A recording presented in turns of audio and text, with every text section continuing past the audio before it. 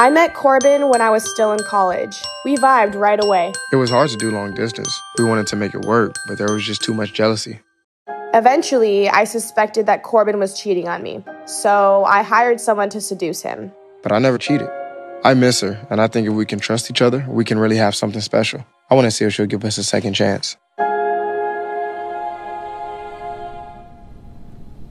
So are you ready to be honest and tell me that you're cheating on me? Is that how we're going to start this off? Yeah, that is it. We haven't talked about it yet. I didn't cheat on you. I know that you did. How do you know this? Because the girl you cheated with, I paid her 50 bucks to hit on you. Why would you pay a girl to talk to me? That's some crazy. You were giving off horrible energy, and it had a series of events leading up to that. A series like of events? Like you flirting with other girls, you eyeing other girls. Who would giving- I ever flirt with? Oh my gosh, all the girls at your gym? You're not at the gym, so how can you say I'm On flirting with them? Instagram. I've seen it. What do you mean? You're over there liking all these girls' Instagram pictures, your workout buddies with all these different girls at your gym. And you're literally posting thirst traps like ab pics, like, oh, like, I'm a trainer. I have a fitness Instagram. So when I see other people that have fitness okay, pages, so you're gonna it's like, called oh, building them up. sexy girl, oh, whatever, you're so sexy, you're gonna like that? It's Yeah. for work. It's innocent flirting and help me get clients to continue to make money. What is like respectful in a relationship? Like Trusting the person guidelines? and not paying somebody to see if they would cheat. But it happened. Not true. You went on a date with this girl. It wasn't a date. She literally told me that you took her out to eat. No. Yeah, and you guys hooked up. You can't sit here and deny that. I am denying because it's not true. It okay, sure. She's a client, and after we were working out, we got food, which was across the street. That's where not we what she told me. That's what I'm telling you. She told you. me you guys had sex. I'm telling you we didn't. So are you saying she's lying? I'm saying she's lying. Let's find out from her. Okay. All right. Oh my God.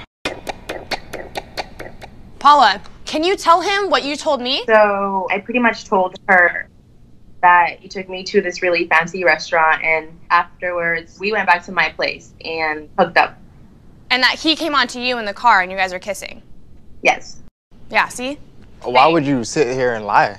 I lied because So you weren't telling the truth? I didn't think that she deserved you, so I lied. We're Oh my fine with her. God. Clearly, she doesn't value the faithful, amazing man that you are. I thought, you know, maybe I have a chance because So you thought you had a chance with him, so you're trying to homewreck us so that you can be with him? Wow. Thanks. She lied to my face. And what have I been saying? All right, well, I'm sorry for doing that and making it go that far instead of talking to you about it. When I feel like someone's pulling away, I'll just pull away too.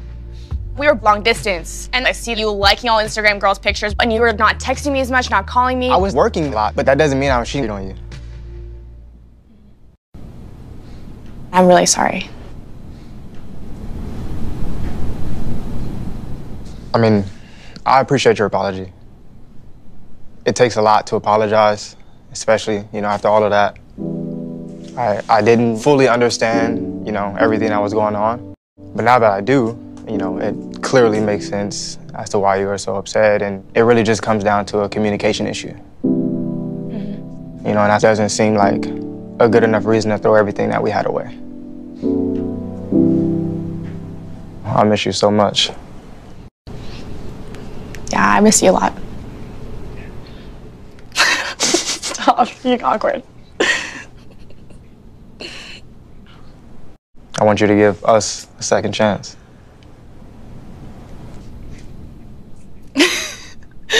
Honestly, you're so cute. I feel like I should be asking you for the second chance after all of this bullshit. uh, So is that a yes? Yeah. yeah, yeah, I want to try again. this is crazy. So guys, I just remember now that I did not finish the video. And to be honest, that was the very first episode that I watched that actually made me stay glued to that series.